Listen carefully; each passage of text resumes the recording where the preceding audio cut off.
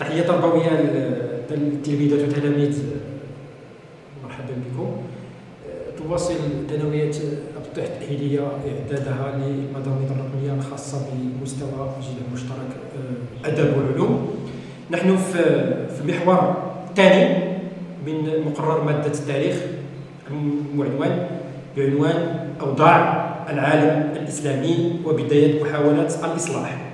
الدرس الثالث ضمن المحور الثاني المتعلق ببداية محاولة الإصلاح وحدودها الدرس بطبيعة الحال موجه لمستويات جدع أدب وكذلك جدع علوم. سبق وأن درسنا خلال المحور الأول أوروبا الغربية وتطور نحو الحداثة حيث تمكنا من دراسة مجموعة من الدروس المتعلقة بأوروبا الغربية. ومواصلتها للتحولات ومواصلتها كذلك لإرساء الحداثة خلال القرنين السابع عشر والثامن عشر حيث درسنا عصر الأنوار الذي كان بمثابة الركيزة الأساسية التي أدت إلى التطورات الاجتماعية والسياسية بالنسبة لإنجلترا وكذلك بالنسبة لفرنسا وختمنا المحور الأول بموضوع الثورة الصناعية والتحولات التقنية التي عرفتها أوروبا. لكن الملاحظ بأن العالم الإسلامي لم بطبيعة الحال لم يستمر في التحولات التي بدأها خلال المرحلة الأولى. الدليل على ذلك هو الموضوع أو عنوان المحور المتعلق بمحاولات الإصلاح. عندما نتحدث عن محاولات الإصلاح معناه أن العالم الإسلامي كانت لديه مجموعة من المشاكل ومجموعة من الضغوطات التي مورست عليه من قبل الدول الأوروبية. الشيء الذي أدى بطبيعة الحال إلى بداية محاولات آه، الإصلاح في العالم الإسلامي. دائما في العالم الإسلامي آه، كما رأينا نركز على نموذجين آه، أساسيين.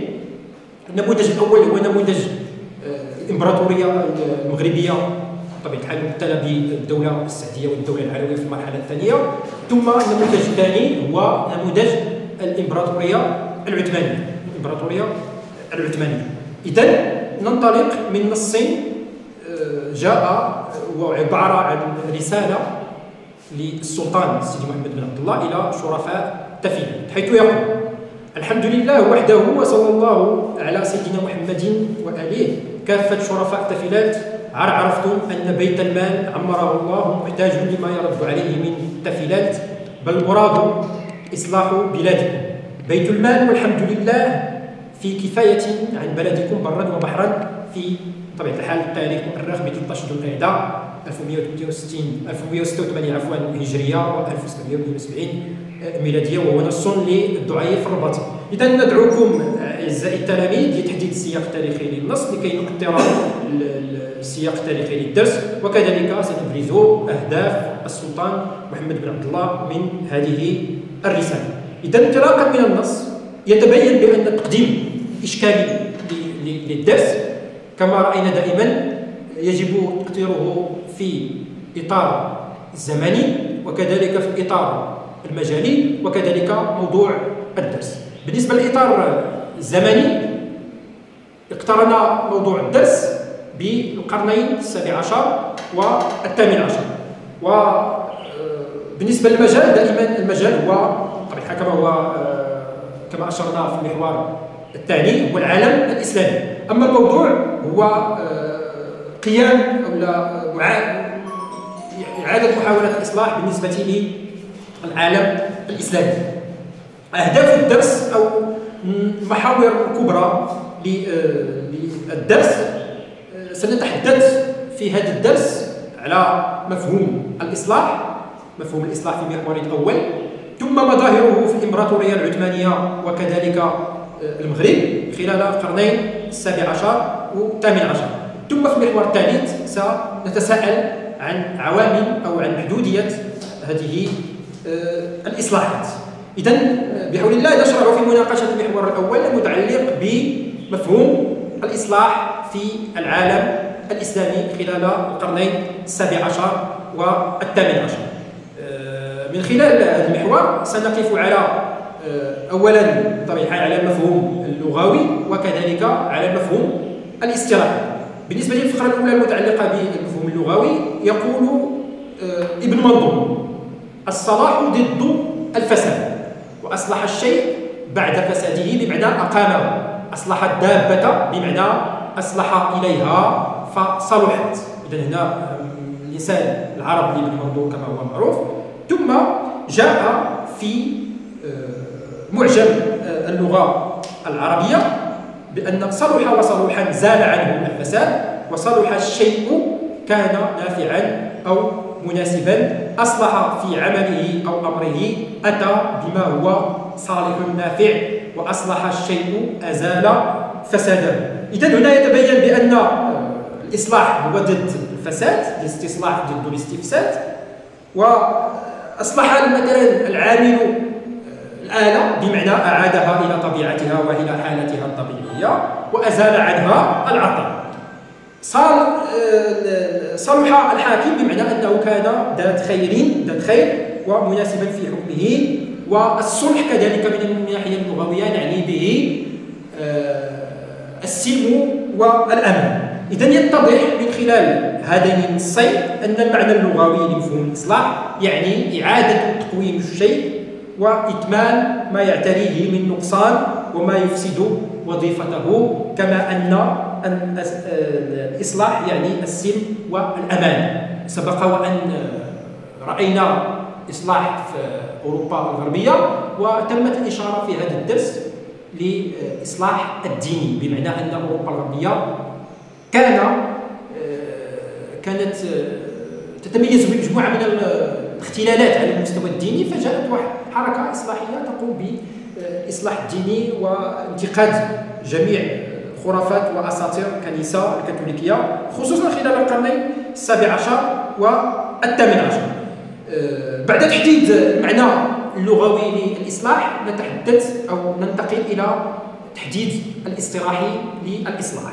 الإصلاح يواجه الظواهر العارضة والجزئيات ولا يواجه مسألة التغيير الجذري الكلي الذي يشمل جميع جوانب الحياة الاجتماعية. فمن زاوية الفرد الإصلاحي هو إدراكه بأن كثيرا من جوانب المجتمع لا تحقق جميع أمنياته وحاجاته ومصالحه لذا فلا بد من إصلاح يجري في جوانب المجتمع التي بها خلل كي توجد شروط تحقيق هذه الحاجات والمصالح والأمنيات.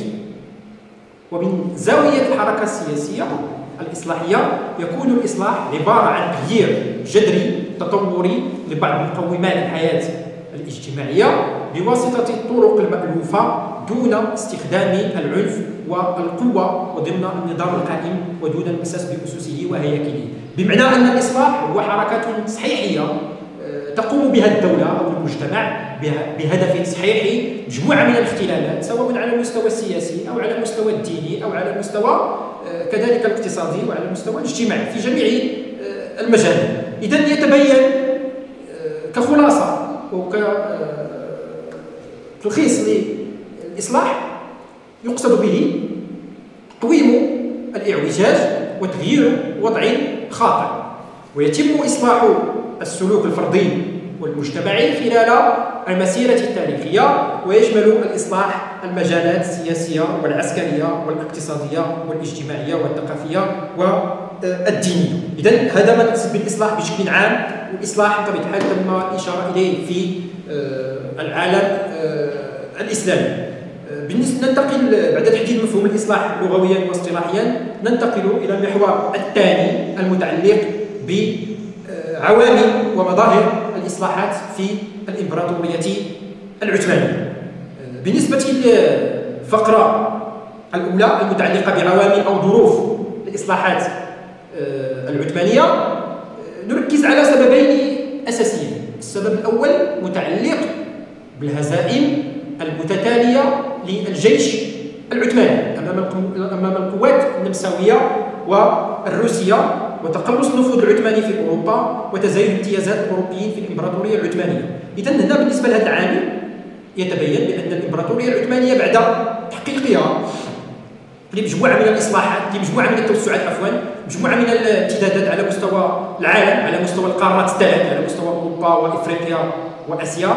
وانتصارها في مجموعة من المعارك على مختلف القوى العالمية أصبحت في بداية القرن السابع عشر تتعرض لمجموعة من الهزائم لمجموعة من الهزائم خصوصا في المجالات الأوروبية مما سيؤدي بطبيعة الحال إلى بداية تقلص مجالها خصوصا على مستوى أوروبا. كما يمكن أن نضيف بأنها كانت تعاني كذلك من مشاكل على مستوى العالم العربي وعلى مستوى آه، المشرق العربي وإفريقيا كذلك. آه، مما آه، هذه الهزائم التي تعرضت لها الإمبراطورية أدت إلى تزايد امتيازات الأوروبيين في الإمبراطورية العثمانية. إذا هذا بالنسبة للسبب الأول هو ضعف القوة العسكرية للإمبراطورية العثمانية وبداية تراجعها وبالتالي انحصار أو انكماش مجال نفوذ الإمبراطورية العثمانية. بالنسبة للسبب الثاني متعلق بتولي مصطفى كوبريلي رئاسة الحكومة العثمانية. رئاسة الحكومة العثمانية كان هذا المنصب يشار إليه بمنصب آه، الصدر الأعظم والذي تمكن بسياسته وحنكته وكفاءته يعرف بأنه كان آه، ذات كفاءة عالية. تمكن من إصلاح مجموعة من المجالات على مستوى الدولة العثمانية وهو الذي بشر الإصلاحات وقام ببداية هذه الإصلاحات ومن أهم الإصلاحات التي قام بها هذا الصدر الأعظم هو إصلاح الجهاز المالي. بالنسبة بعد تحديدنا لأهم الأسباب التي أدت إلى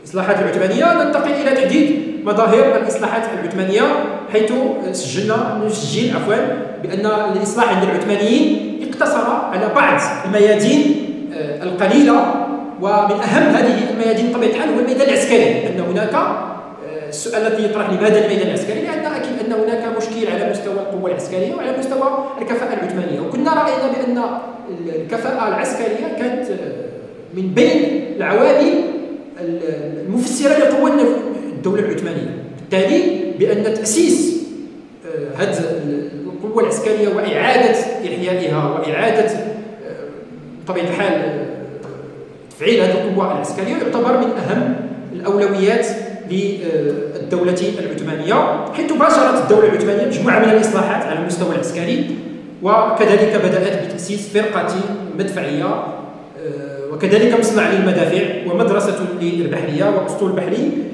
بمعنى أنها اهتمت بكل ما هو عسكري تجديد الآلات العسكرية استقدام المؤطرين والمكونين من الخارج خصوصا من فرنسا وإنجلترا وكذلك إصلاح الثغور بمعنى السواحل المغربية وكذلك بناء القلاع الحصينة.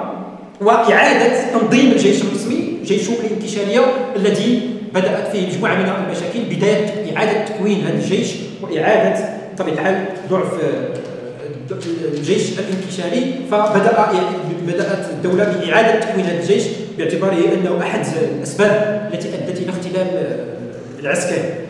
آه، بالإضافة إلى الميدان العسكري نجد في الميدان الثقافي والعلمي إنشاء آه، مجموعة من المدارس مجموعة من الأمور المتعلقة بالجانب التعليمي كمدرسة الرياضيات ومدرسه الهندسة وكذلك ترجمة الكتب التقنية الغربية كما اهتم العثمانيين بإدخال آه، المطبعة لدورها الكبير في نشر المعرفة وكذلك نشر مختلف الكتب ومختلف المؤلفات بلغات وبطبيعة آه، الحال تساعد المطبعة في نشر الكتب بشكل كبير وبتوفيرها وبتوفيرها بأثمنة مناسبة وبأعداد كبيرة. اهتمت الدولة العثمانية بكذلك مسألة الترجمة ترجمة المؤلفات الأوروبية الفرنسيه الانجليزيه الفارسيه إلى آخره. هناك ترجمة مجموعه من آه، اللغات مجموعه من اللغات إلى اللغة الألمانية. بالتالي لأن كان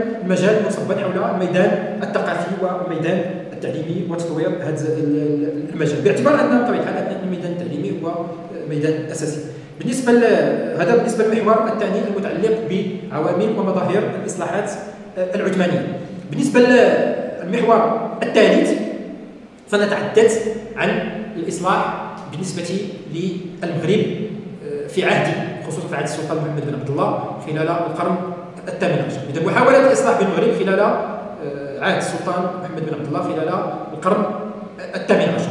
آه، أكيد يجب أن نقف على ظروف انطلاق الإصلاح بالمغرب خلال القرن الثامن عشر حيث اقترن مفهوم الإصلاح في المغرب بالتجديد مستهدفا تقويه دعائم الدولة حيث استهدف الإصلاح على عهد السلطان محمد بن عبد الله تجديد أسس الدولة وتقويتها كما رأينا من نص الانطلاق بمعنى أن الإصلاح سكان ينصب على أسس الدولة. إعادة هيكلة أسس الدولة وتقوية هذه الأسس وكذلك الاهتمام بجميع المشاهد لذلك سنرى بأن هذه الإصلاحات جاءت آه، بعد أزمة ما يسمى بأزمة 30 سنة آه، اللي امتدت من 1927 إلى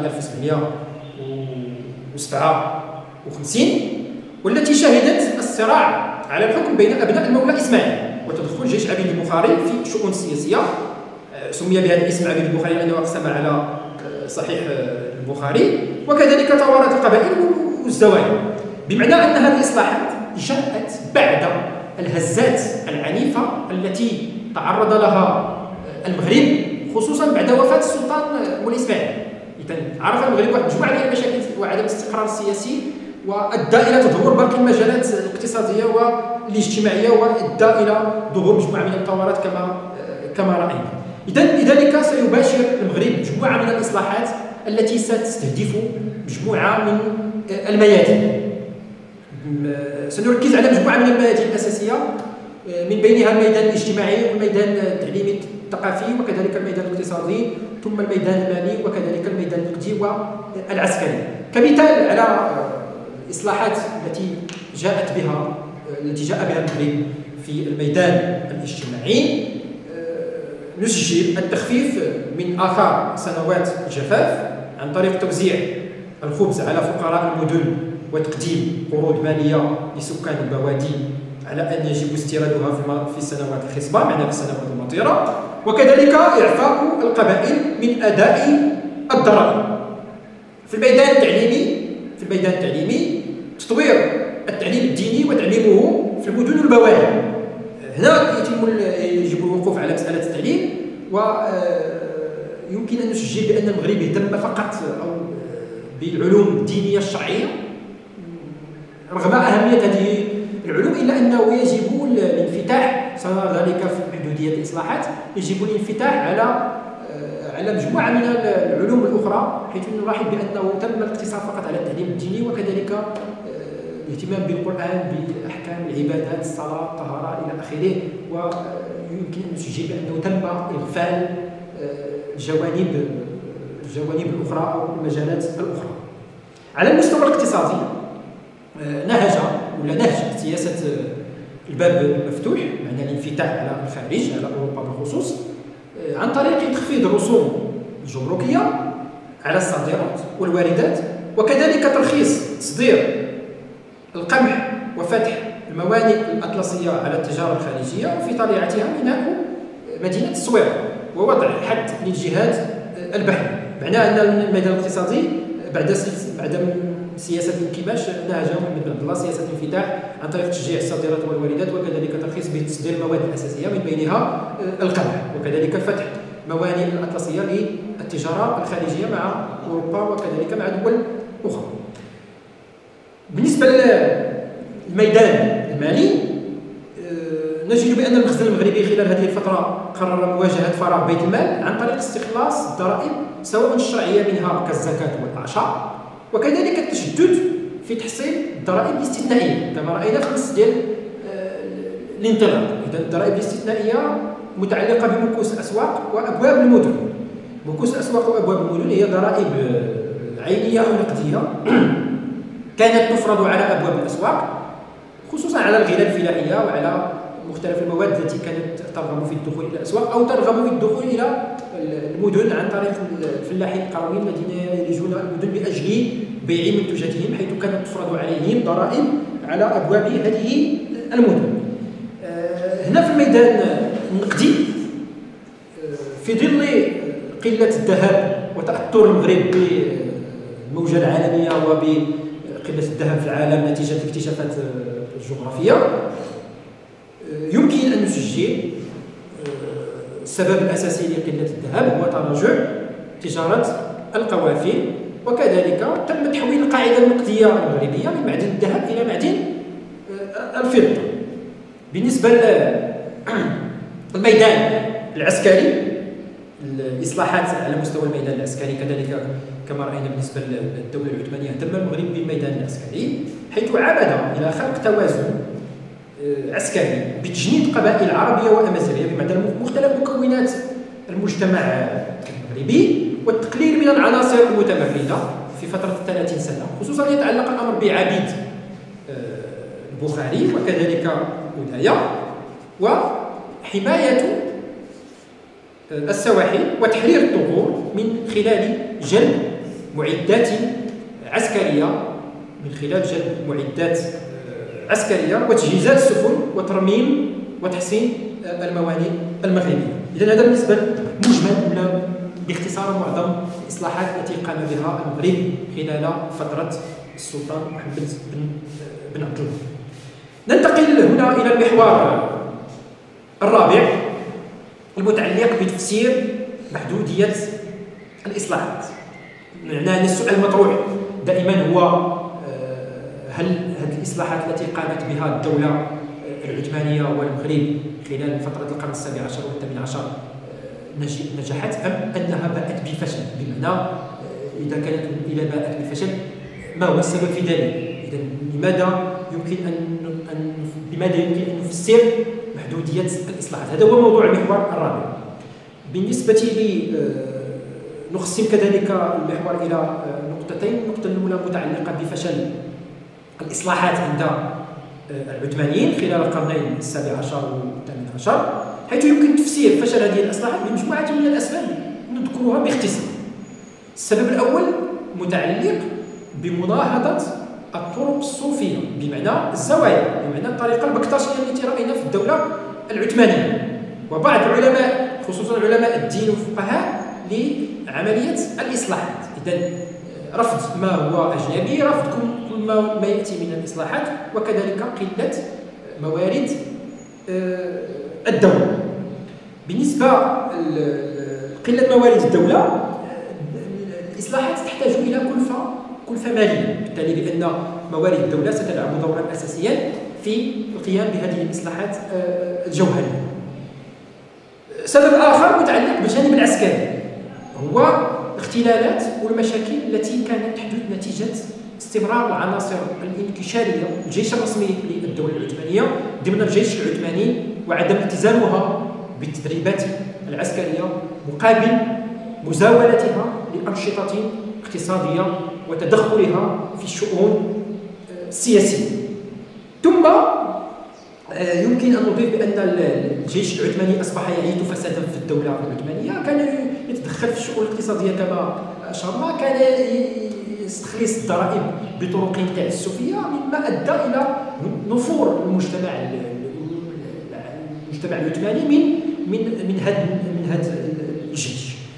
آه، سبب آخر متعلق بفشل الإصلاحات هو دور الكوارث الطبيعية والمجاعات والأوبئة التي أصابت الدولة آه، العثمانية خلال هذه الفترة خصوصا فيما يتعلق بشمال إفريقيا. في مصر في تونس في الجزائر حيث نلاحظ آه، الفيضانات آه، السيول الزلازل الجراد مجموعة من الكوارث الطبيعية التي ستؤثر بطبيعة الحال على الجوانب السياسية والاقتصادية ستؤدي إلى وفاة مجموعة من الأشخاص مجموعة من الموارد البشرية التجار الحرفيين الصناع العلماء إلى آخره. معنى أن دور هذه الكوارث كان آه، دورا أساسيا حاسما بالنسبة لفشل هذه الإصلاحات العثمانية.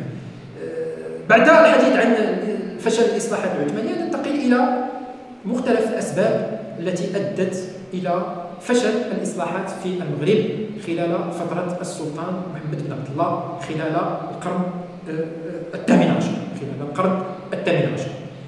وبعض بعض هذه الأسباب يمكن ان نتحدث عن التغلغل وبداية دخول الاجانب بالنسبة للمغرب. بداية تدخل الأجانب الشؤون الداخلية للمغرب عن طريق مجموعة من المعاهدات عن طريق مجموعة من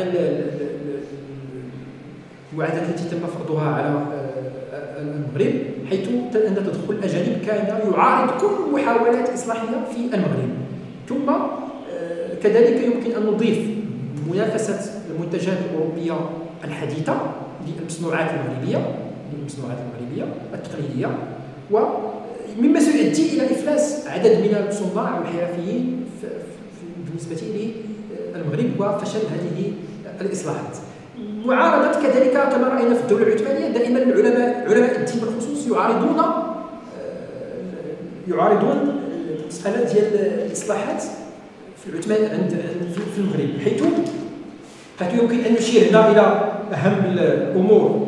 التي التي تمت معارضتها هي ما يسمى مثلا ما يتعلق بالحجر الصحي. لا كارونتينا. اسم بطبيعة الحال أصله إسباني حيث كان العلماء الكارونتينا بطبيعة الحال هي المدة التي يقضيها بطبيعة الحال السكان من أجل الحماية من الأمراض حيث كانت هذه المسألة كانت تلقى معارضة كبيرة من قبل العلماء ويرون بأن الموت بطبيعة الحال الموت هو آه، قدر من الله وكذلك مشيئه الهيه بالتالي الاحتياطات آه، من قبل الحجر الصحي وغير ذلك يرى العلماء بانها غير مجدية وكانوا يعارضون هذه الإصلاح. بمعنى كل ما هو يأتي من الأجانب ولا من الدول الأوروبية يجب معارضته ويجب بطبيعة الحال رفضه.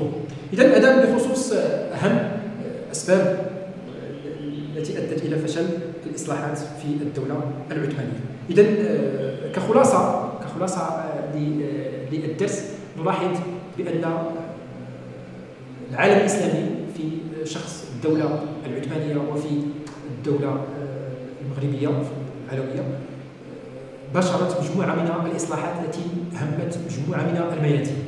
لكن ما يمكن تسجيله هو أن هذه الإصلاحات باءت بالفشل. مما فتح المجال لتزايد الضغوط الأوروبية على العالم الإسلامي ومحاولة تمويل هذه الإصلاحات ومحاولة التدخل في الشؤون الداخلية للمغرب وبالتالي اختلال التوازن بين العالم الإسلامي وأوروبا الغربية لصالح المجال الأخير. ونلتقي في حصة مقبلة إن شاء الله. والسلام